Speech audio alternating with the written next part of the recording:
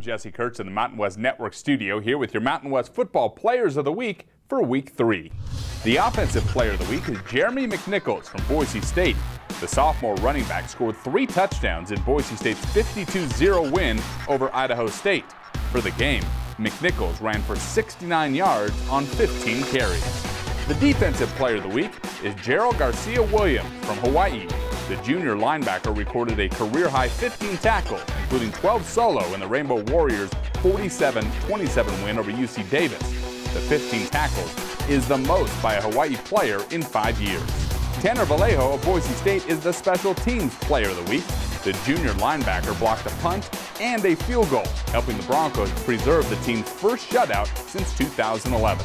Both the Broncos and the Rainbow Warriors are on the road in Week 4. Boise State travels to Virginia, while Hawaii travels to Wisconsin.